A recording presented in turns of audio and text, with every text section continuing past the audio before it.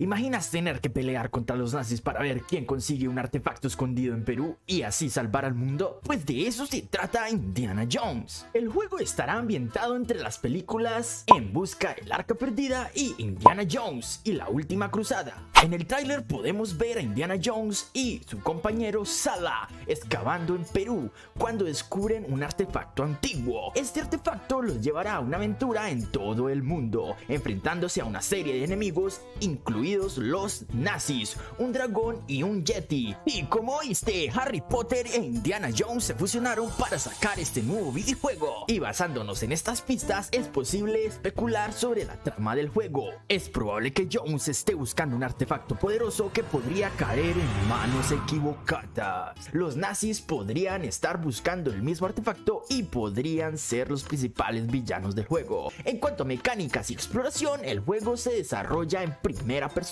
y presenta una mezcla de combate, exploración y resolución de puzzles. En el juego podrás usar una variedad de armas y herramientas para derrotar a los enemigos y superar los obstáculos. También contarás con una gran cantidad de elementos de exploración y los jugadores podrán explorar templos antiguos, ciudades perdidas y otros lugares exóticos de Perú. El trailer cuenta con muchas referencias a películas clásicas de Indiana, porque podemos ver a Jones usando su legendario látigo, su sombrero y su fedora. Así que déjame saber en los comentarios, ¿comprarías Indiana Jones o sería una total pérdida de tiempo?